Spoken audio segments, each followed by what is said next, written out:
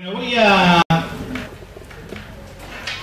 eh, en parte hablar, en parte leer algunas cosas. Va a ser un poco aburrido, pero para que sea rápido este, y tengamos tiempo de discutir. La idea del trabajo es en un año McLuhan, que venimos reflexionando yo por una, este, me impresiona el hecho de que hace un año o dos años McLuhan era un autor de referencia, pero de ninguna manera el centro de nuestra producción. Y el centenario ha generado una producción, en general en nosotros, y un ritmo de trabajo con colegas que nunca trabajamos o que trabajamos menos, muy impresionante. Entonces, la cuestión es ver algunas cosas de lo que vemos nosotros en McLuhan, especialmente respecto a los medios de sonido, ver algunas cosas de lo que está pasando hoy con los medios de sonido en la sociedad y ver ahí este, hasta dónde McLuhan sí, hasta dónde McLuhan no. ¿Está bien? Y después discutimos.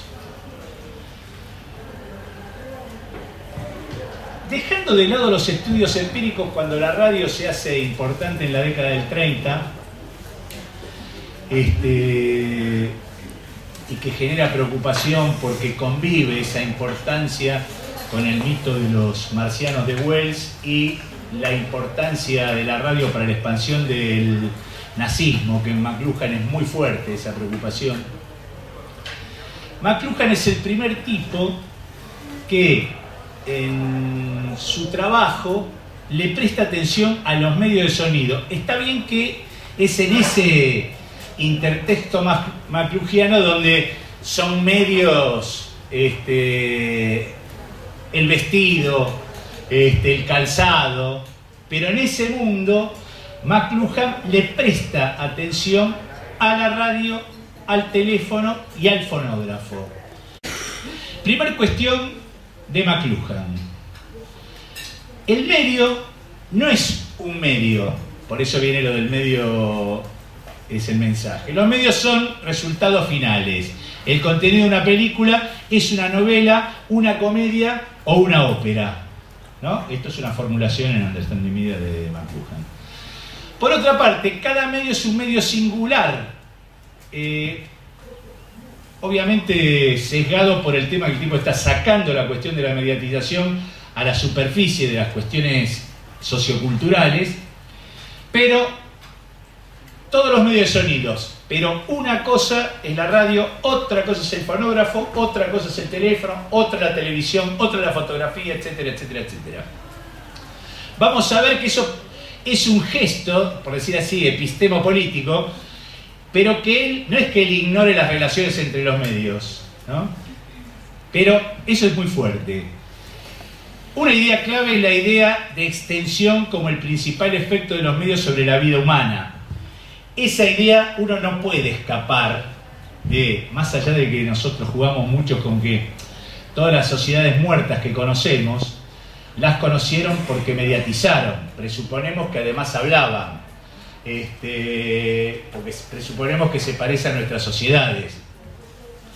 Este, pero la idea de que una sociedad con mediatización, o en una sociedad con mediatización, el hombre tiene alcances, juegos espaciales y temporales que no tiene si no está en los medios, es una idea de la que por lo menos yo no puedo escapar.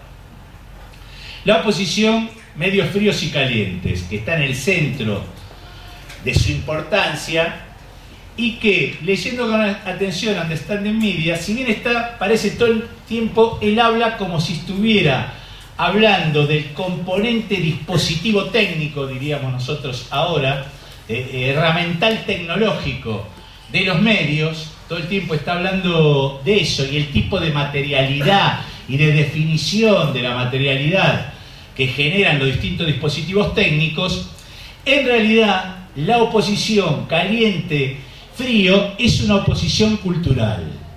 O sea, el nazismo para McLuhan este, triunfó porque era la radio, que era un medio que da todo cocinado y servido para entender.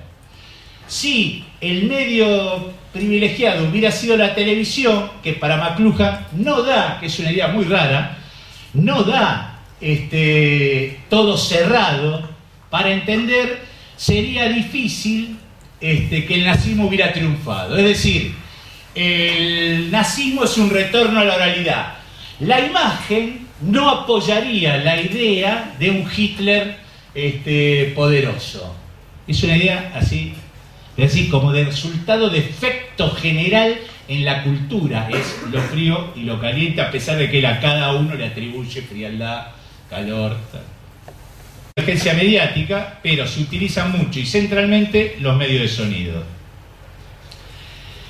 Una cuestión que para nosotros le falta a McLuhan para evaluar la vida de un medio y que él lo maneja este, constantemente, saltando este, de serie en serie, es que para hablar de un medio intervienen al menos tres series. Si un medio genera un cambio importante en la vida, o se convierte en un medio importante, o se transforma, o se sostiene en la vida social, es porque juegan tres series, al menos tres, pero estas tres siempre, que pueden ser descomponibles en, muchas otras, pero que juegan en un nivel este, con cierta independencia entre ellas, y si uno entiende un medio, tiene que entender. Qué dispositivos técnicos están puestos en juego, de dónde vienen, hacia dónde va. Una cosa que está pasando con los portales de música hoy en la web es que hacen el procedimiento al revés. Hablan como si solo todo se tratara solo de sonido. Son muy, no explícitamente, digamos, pero juegan mucho a lo anti-audiovisual. Y en ningún momento tematizan la cuestión que son dispositivos gráficos, visuales.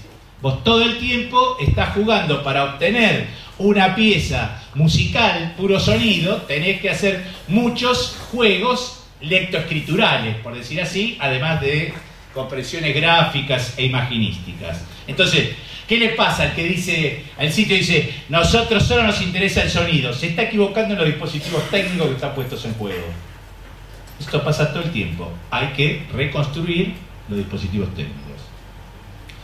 Los lenguajes, género y estilos contenidos por ese dispositivo técnico. Con solo sonido podés pasar palabra como ahora, que es así, el núcleo de la cultura oral, con el mismo dispositivo técnico pasás música, que son mundos, desde el punto de vista teórico y prestando atención a su vida cultural, que conviven mucho, pero que tienen vidas este, paralelas y que no interactúan todo el tiempo de la misma manera entre sí. Para un ejemplo, ¿no? Y después las prácticas sociales o usos asociados con ese medio en particular. Cuando fue escrito el Standing Media, el problema no era la noción de red, sino esos nuevos focos que eran los medios que generaban este, opinión y tendencias.